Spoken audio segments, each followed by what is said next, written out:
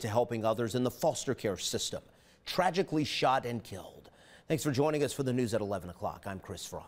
Our Caitlin McCarthy is live tonight. And Caitlin, you spoke with loved ones who are obviously still in shock. You also spoke to someone who is very close to her. What did that person have to say? Chris, so many people who love this woman came together today for her celebration of life. Cleveland police tell me she was fatally shot a week ago, just days before her birthday. And her boyfriend tells me she's remembered for the positive impact she had on so many others. She actually wanted to help the world, specifically aged out foster care youth. That was her, her everything. A life dedicated to helping others.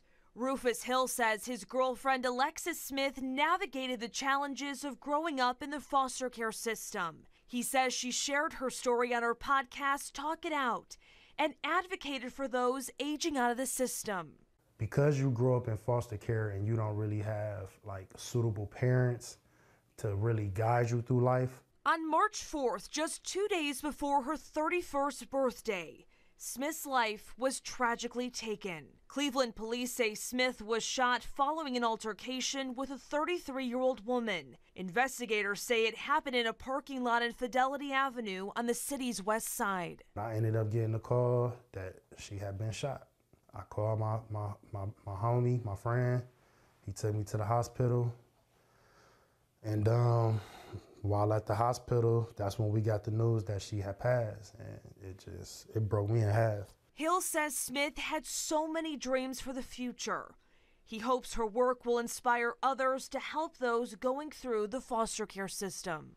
We need people to get involved. We need people to become um, adopted, you know, parent, adopted parents, foster parents, even if you just went and tried to work in the system, like we need people that actually care to get involved. And Cleveland police tells me that 33 year old woman has been arrested and charges are still pending in this case. Reporting live in downtown Cleveland, Caitlin McCarthy, 19 News.